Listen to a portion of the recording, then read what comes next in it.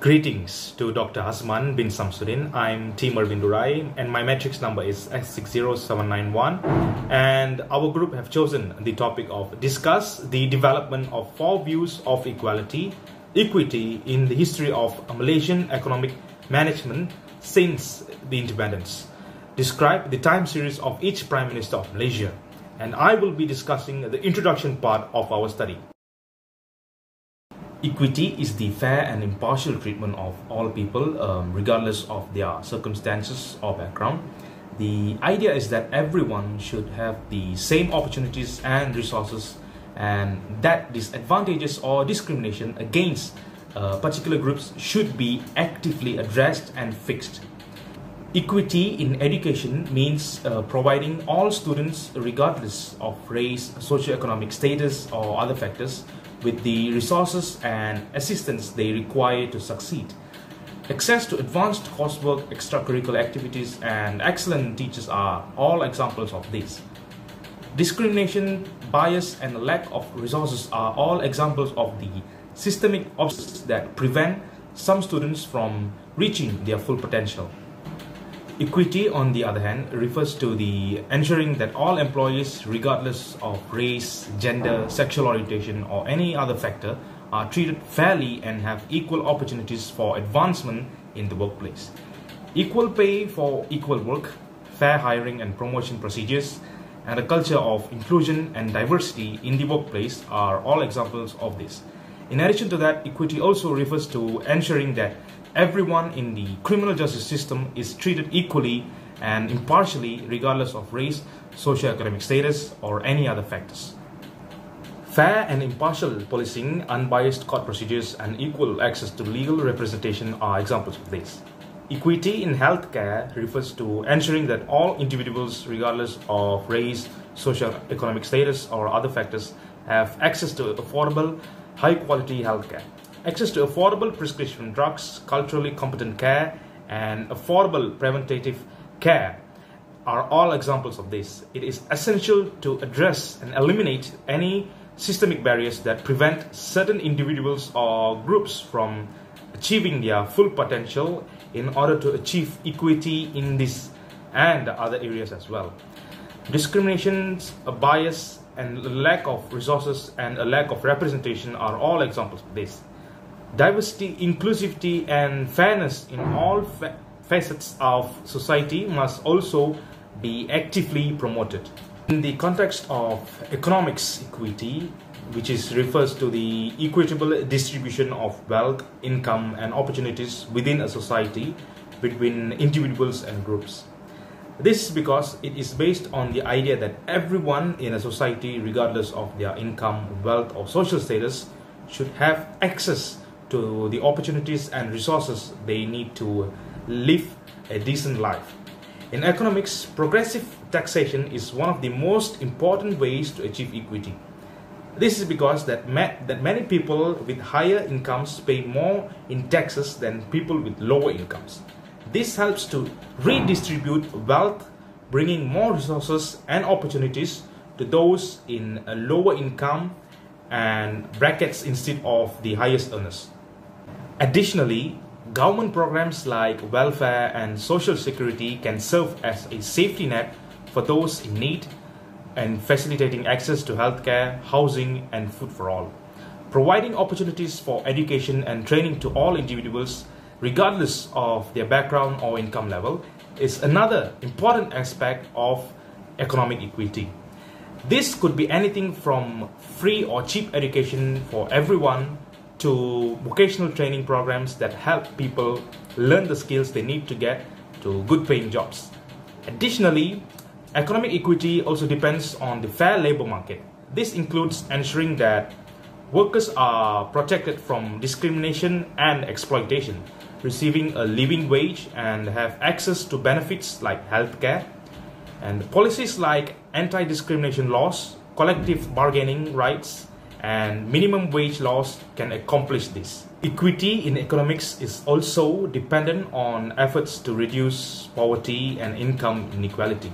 Policies like expanding access to credit and financial services for those who are economically disadvantaged increasing the availability of affordable housing, and providing specialized assistance to individuals and families with low incomes are examples of this.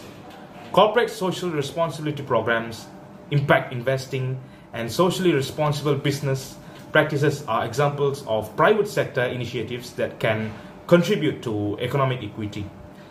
These initiatives are in addition to policies implemented by the government. Moreover, equity means more than just distributing wealth and resources. It also means creating an environment where everyone has equal chances to succeed and raise their standard of living. This includes addressing the systemic obstacles that prevent certain groups, like those with low incomes and minorities, from realizing their full economic potential. In economics, equity is the idea that everyone should have access to the opportunities and resources they need to live a decent life, regardless of their income, wealth, or social status. To ensure a fair distribution of wealth, income, and opportunities for all individuals, economic equity requires a combination of government policies, private sector initiatives, and systemic barriers. Since Malaysia's independence in 1957, more than six decades have passed. The country's nine prime ministers are elected by the people to lead the government are Tunku Abdul Rahman, Tun Abdul Razak, Tun Hussein Onn, Tun Abdullah bin Haji Abdul Badawi, Dato Sri Muhammad Najib, Tun Dr. Mahathir, Tan Sri Dato Haji Muhyiddin, Dato Sri Ismail Sabri, and Dato Sri Anwar Ibrahim. The prime ministers had an impactful influence on the management of the country's economy during their duty period. This study also looks at how prime ministers managed the economy during their time from four different economic points of view, which are egalitarian, Rawlsian, utilitarian, and market oriented. Egalitarian is a person who believes in human equality, especially with respect to social, political, and economic effects. Rawlsian is a person who advocates a system to ensure the fair distribution of primary social goods. Utilitarian is a person who focuses on ethical theory that determines right from wrong by discussing on outcomes and the market and the market oriented person who believes uh, the best possible economic consequences will result if individuals are free to make their own economic decisions uninhibited by the government constraint. Next, Malaysia's economic management after the independence. Malaysia's economy was largely dependent on a small number of agricultural and mineral exports when it gained independence from Britain in the year 1957. The agricultural sector had a significant impact on Malaysia's economy when it first gained independence. There were 67 opportunities for employment in agriculture, which accounts for 33% of the country's GDP. Additionally, agricultural export have a significant impact, accounting for 6%. The government has also implemented policies to promote industrialization and foreign investment which have led to a diversification of the economy and an increase in the exports. In relation to that, post independence, one of the compiling economic management in Malaysia has been the implementation of new economic policy in the year 1971. The new economic policy aimed to reduce poverty and income inequality and to promote ethnic harmony by increasing the economic participation of the country's ethnic, Malays, and other indigenous groups. This policy was successful in reducing poverty and increasing economic growth, but it was criticized for recreating a culture for independency and for shifting the development of a truly merit based society. Another important aspect of Malaysia's economic management has been the promotion of free trade and foreign investment. This has led to a significant increase in foreign investment and the growth of key industries such as manufacturing, constructions, and also services. In the year 1970s, the Malaysian economy based on mining and agriculture was transitioning toward a more diversified economy. Since the 1980s, the industrial sector has led to a Malaysian's growth. The high level of Malaysia investment plays an important role in this.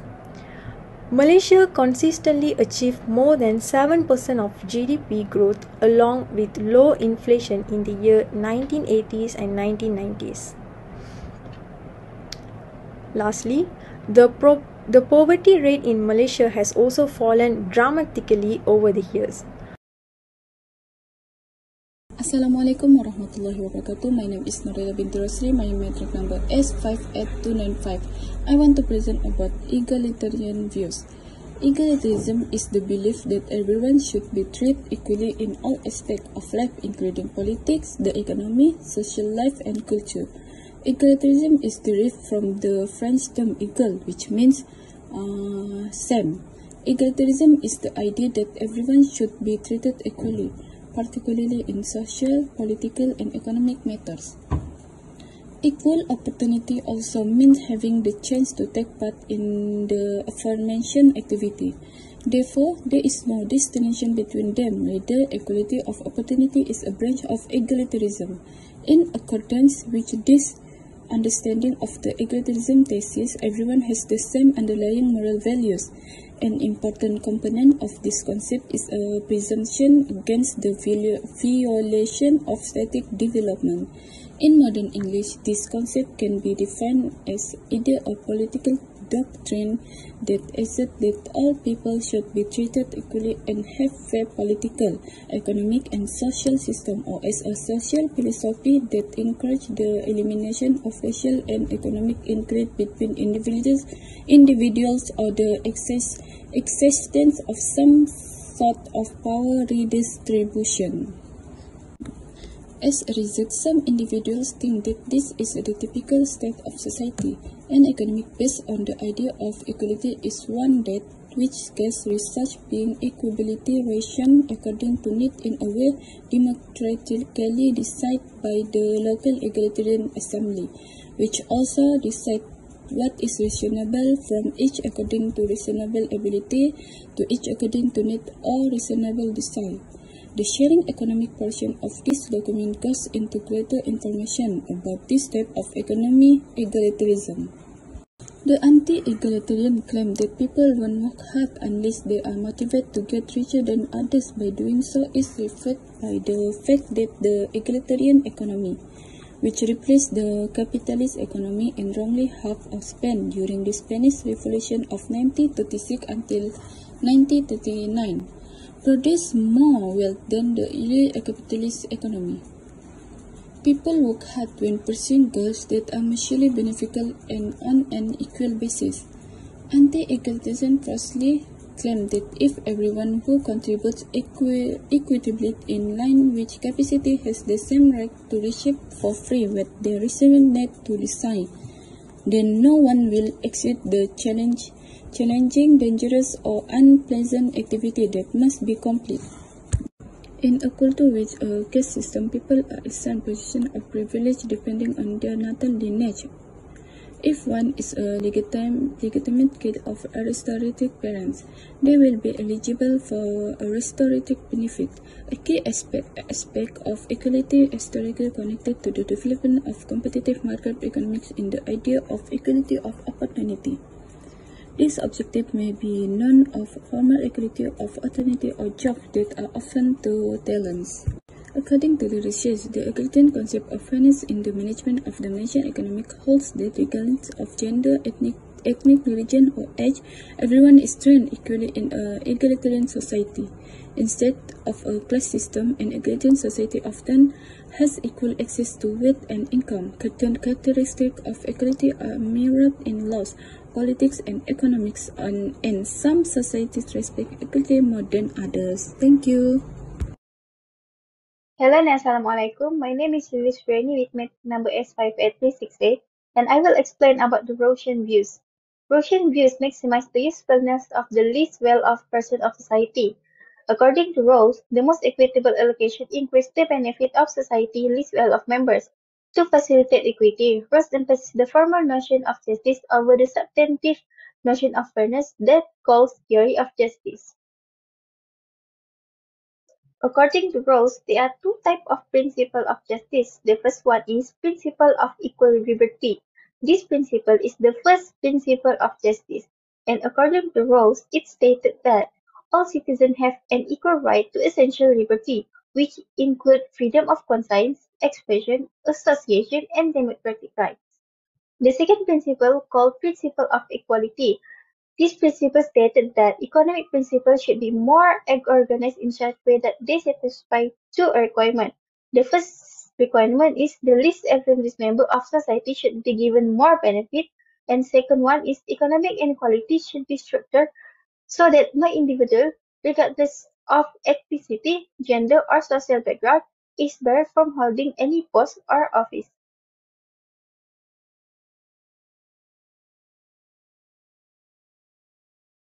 Assalamualaikum warahmatullahi wabarakatuh.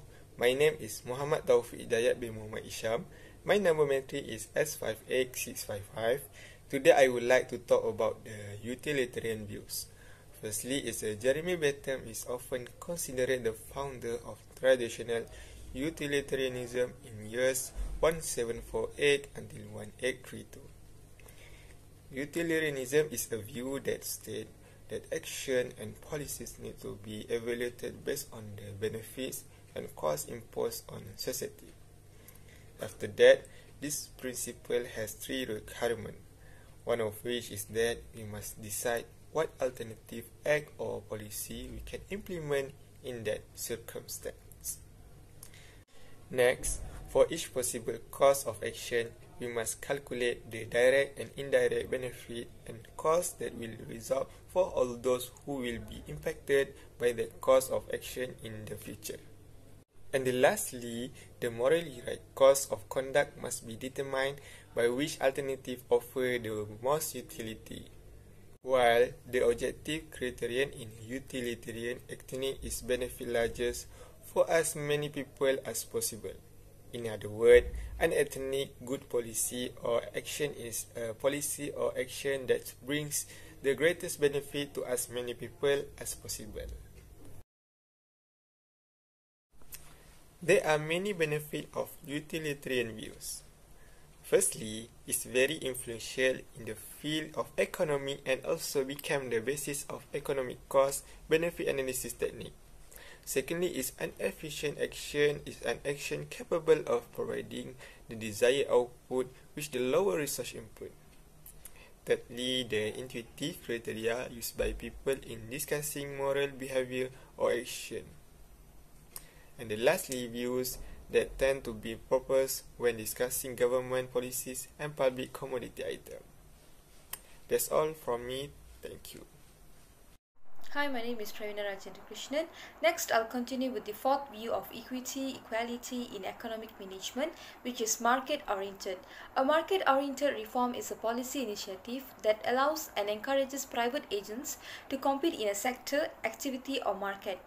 Thus, private participation and competition among private players are the core notions behind market-oriented reforms. A market-oriented reform in most situations indicates a reduction in the depth and scope of government participation and interference in an economic activity.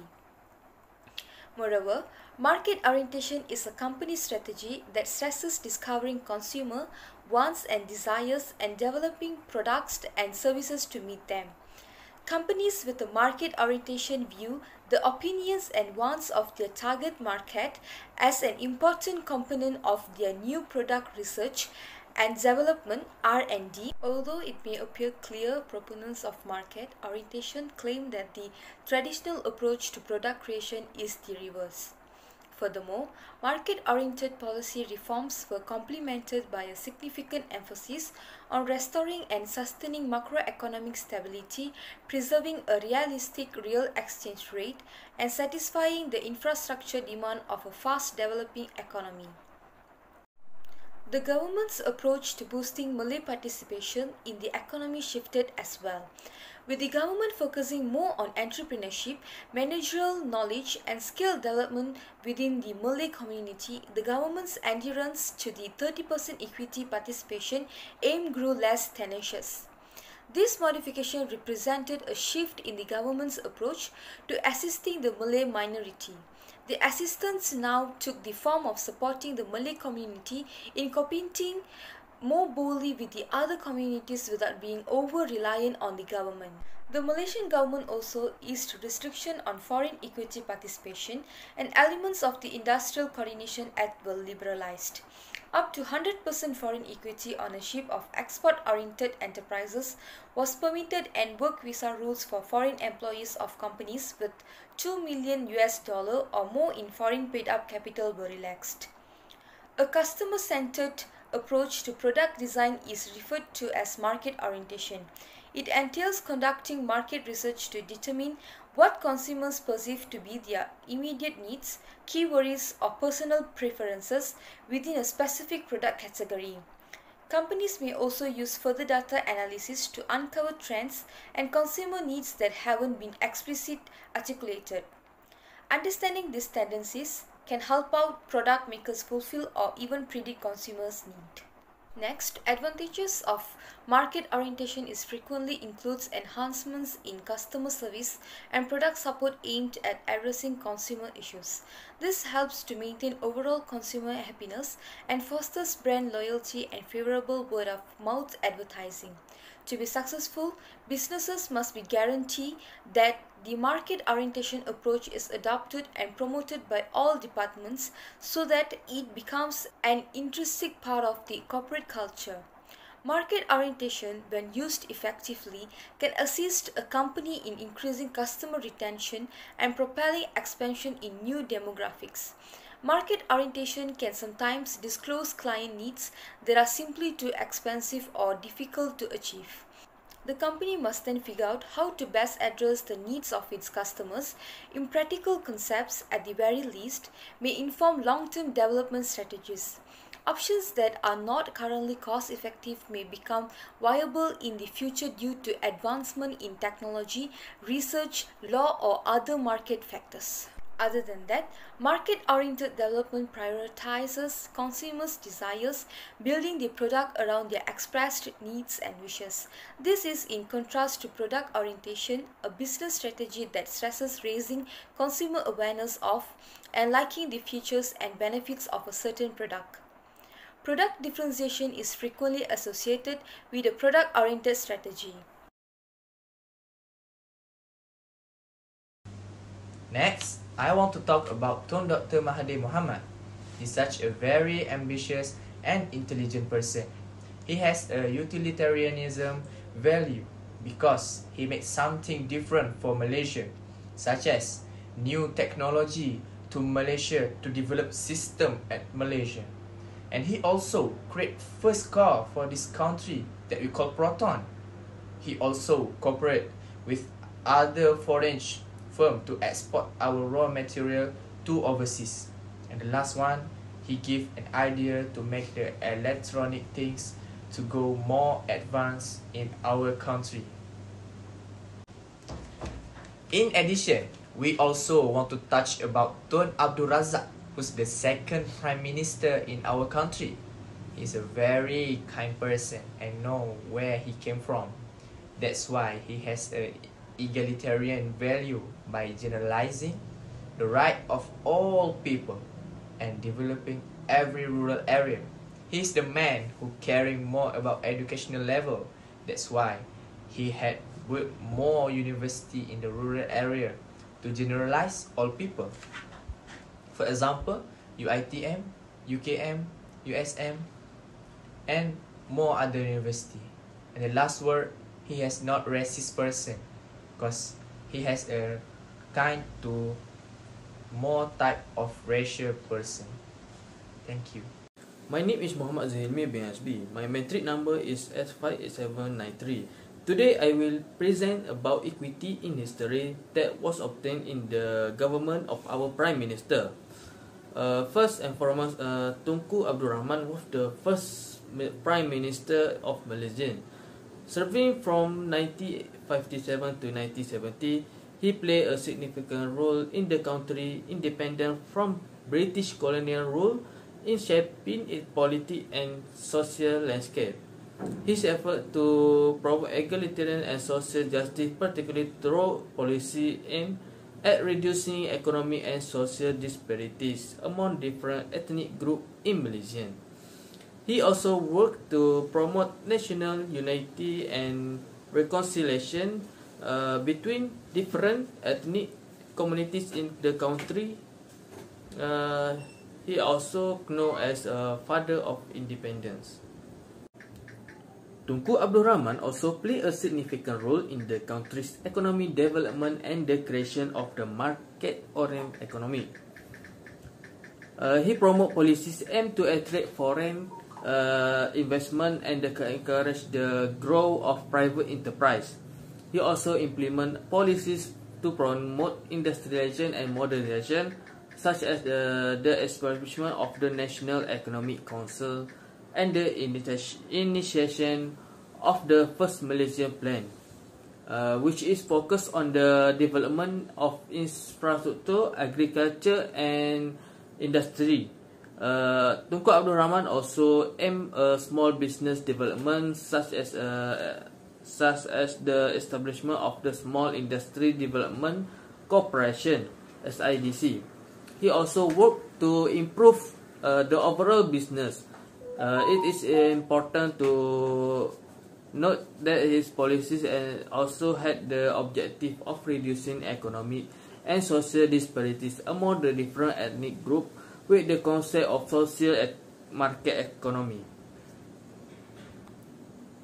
My second Prime Minister is Tan Sri Datuk Haji Muhyiddin is a prominent political figure in Malaysia for his contribution to the country's economic development One of his main contributions in the market-oriented development of Malaysia is he emphasized on the promotion of free trade and foreign investment.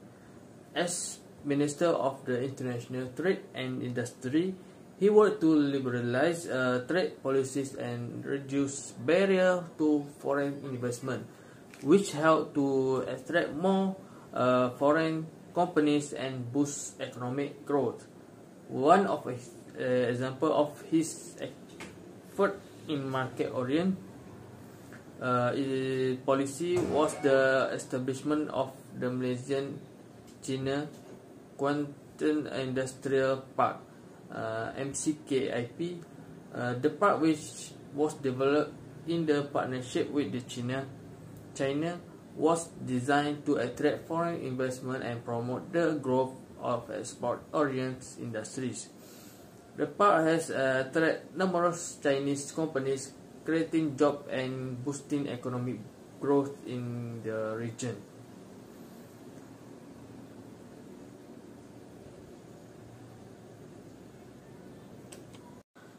Second, for the egalitarian in Malaysia is he emphasized on the importance of social welfare program and the elimination of poverty.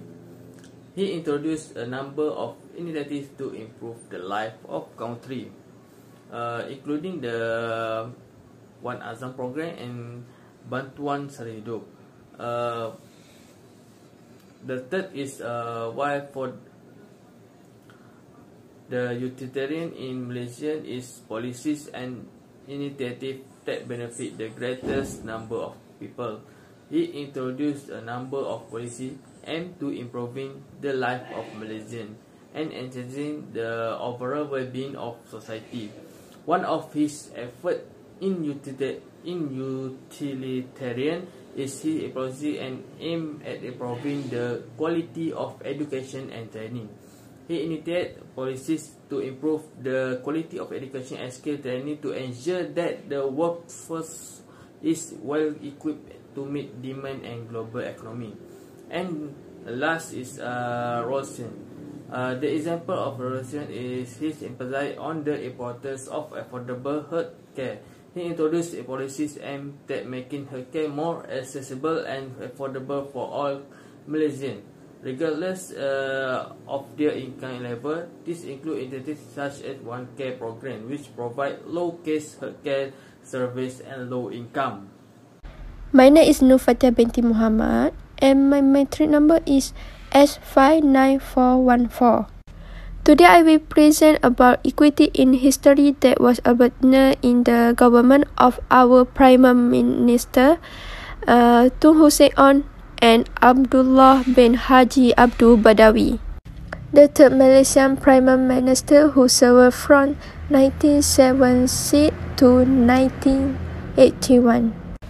Tun Hussein was known as a very sensitive person in the struggle to uphold racial unity and has a reputation for cracking down on anyone who tries to stir up racial unrest in the country. Due to his effort in fostering unity among the Malaysia community, Tun Hussein is remembered as the father of unity. Tun Hussein implemented policy at reducing poverty and income inequality, as well as improving access to education and healthcare for all Malaysians. This policy could be considered consistent with the principle of egalitarian, which equal distribution of resources and uh, opportunity for all members of society. One of his notable policy is the East policy, which aimed at learning from the success of the Asian tiger and adapting the best practice to Malaysia. This policy helped Malaysia to improve in economy and reduce poverty. Tun Hussein was known for his pragmatic approach to governance, which can be seen as consistent with the principle of utilitarian which hold that the moral value of an action should be based on its ability to promote the greater amount of our happiness or well-being for the greatest number of people. During his tenure as Prime Minister of Malaysia, Tun Hussein implemented policy aimed at promotion, economy development, economy development and reducing poverty. Tun Hussein was known for his commitment to economic development during his tenure as Prime Minister of Malaysia. He implemented policy aimed at promoting market-oriented economic growth and reducing poverty. This policy include the promotion of foreign investment, the encouragement of private enterprise, and the liberation of trade. Next is Tun Abdullah bin Haji Ahmad Badawi. Tun Abdullah bin Haji Ahmad Badawi was the 50th Prime Minister of Malaysia. He is known as the father of human capital development. Tun Abdullah has introduced the National Integrity Plan which is to plan and nurture a culture of ethics and integrity among the Malaysia community. During as Prime Minister, Tun Abdullah focused mainly on the economic and political development of the country. He also emphasized on promoting national unity, strengthening democracy and good governance, and reducing poverty and inequality. It is not clear how his policy and action align with Rawlsian theory of justice. Tun Abdullah bin Haji Abdul Badawi, who serves as the Prime Minister of Malaysia, is credited with implementing market-oriented economic policy. The policy include liberalizing trade, reducing government intervention in the economy, and promoting private sector growth. He also implemented a number of structural reforms aimed at increasing the efficiency and competitiveness of the country. So that's all about Tun Hussein and Abdullah bin Haji Abdul Badawi from me. Thank you. Assalamualaikum warahmatullahi wabarakatuh. My name is Muhammad Safan bin Muhammad Shafiq. Metric number S58361. I will talk about Datuk Seri Najib from 2009 until 2018 and Tun Dr. Mahathir from 2018 until 2020. First of all, I will talk about theory Rawlsian for Seri Najib. The fair and equal allocation of resources and opportunity is a key component of the Rawlsian theory of justice, which was formulated by philosopher John Rawls. According to Rawls, a just society is one in which opportunities are distributed to those in society who are least fortunate. The new economic model is one of Datuk Seri Najib program that adhered to Rawls' theory of justice. By fostering competition and investment in important sectors, The NEM sought to decrease income inequality and boost economic growth. Additional, Sri Najib administration implemented policy and program like One Malaysia People Aid Bring, which offer financial support to low-income household and the National Transformation Program, which sought to raise Malaysian quality of living and lessen poverty. This law attempt to make sure that the allocation of opportunity and resources benefit those in society who were less fortunate. In summary, Sri Najib policy and initiative during his time as Malaysian Prime Minister can be viewed as conforming to the tenet of the Russian theory of justice. Next is theory market orientation. The Economic Transformation Program ETP, which had the objective of making Malaysia a high-income country by 2020, is one illustration that the Sri Najib initiative to support market orientation by implementing market orientation policy, including deregulation, liberalization, and private privatization. The ETP aim to grow foreign investment, generate new jobs, and boost economic growth. The Government Transformation Program (GTP), another illustration, focused on enhancing public service and addressing important concerns including crime, corruption, and poverty. The GTP also announced to introduce of a market orientation strategy in the public sector with the goal of enhancing the effectiveness and efficiency of public service through private sector engagement and competition. In conclusion, Datuk Sri Najib policy and initiative through his time as Malaysia Prime Minister were primarily concerned with fostering economic growth and competitive through market-oriented policy and strategy. And strategy. For Datuk Sri Najib is theory egalitarian. Datuk Sri Najib Razak also provide the One Nation People Aid BRIM initiative which offer financial aid to low-income households is one illustration of his attempt to promote equality. In addition, Datuk Sri Najib introduced the National Transformation Program which had the dual objective of raising Malaysia's standard of living and reducing poverty. The program includes initiatives like the National Key Result Area, which establish goals for lowering poverty and enhancing Malaysian quality of life. Hi, my name is Santhiya. Next, I'm going to continue with the conclusion part. A new economic policy that aims at national unity through the process of eradicating poverty and restructuring society in the context of strong national security. All national development programs and current government policies introduced are planned and implemented to achieve the above objectives. This effort requires not only a persistent effort from the government and its staff, but also requires a change in attitude, energy, and thinking of the people from the private sector. Independence can be divided into two main stages, which, are before the arrival of British and during the British occupation. The economic system and development of the Malay community before the arrival of the British revolved around the agricultural sector, fishing, forest harvesters, and some even involved themselves in producing the products of the earth. Carrying out the business of exchanging goods of necessities with other parties, the Malays have become the main supplier of these products to Arab, Indian, and Chinese merchants, and then to European merchants such as the Dutch and Portuguese. This shows that the economy of the Malay community at that time was not closed but had also reached the level of international trade. Economic activities in general have enhanced interaction among Malaysians' diverse ethnicities and contributed to social harmony. However, if the state's output of money and wealth is not dispersed equally among ethnic groups and classes, this condition might produce social unhappiness. This position will create friction and conflict in the society, stifling the country's economy and progress. In Malaysia, the aspects of economic growth and equity have always been emphasized in development plans to ensure a equitable distribution of national wealth in the economy. The development strategies focused on the diversification of industrial structure, enhancing human resource development, promote the use of modern technology to sustain growth momentum and balanced socio-economic development. The roles of the government in the economy were gradually reduced through privatization and the private sector has to play a bigger role in creating economic activities through expanding private investment.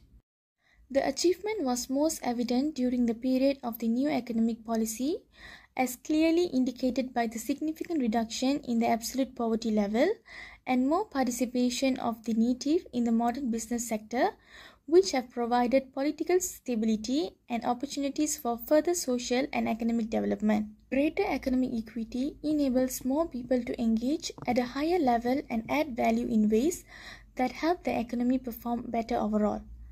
The post independent social and economic development of Malaysia has been guided by a series of five year development plans, and all these plans were successfully implemented and transformed the economy from an agricultural based to a modern technological manufacturing based economy. Malaysia would face new challenges as it moves from a production based economy to a knowledge based economy. The government and the private sector must take the necessary steps to promote knowledge creation and skills for the economy to stay competitive in the borderless world. One of the determinants of success in the knowledge based economy is the continuous generation and acquisition of knowledge by the workers to cater for the rapid changes of society demands in the borderless environment. This would mean that Malaysia needs to provide access to education to the population through distance learning besides the traditional on campus learning, such that education should not only confine the school leavers but also workers already in employment, which the objective of providing lifelong learning for them.